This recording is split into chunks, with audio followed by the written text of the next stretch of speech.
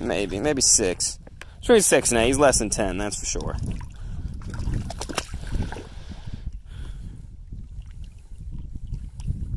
All right.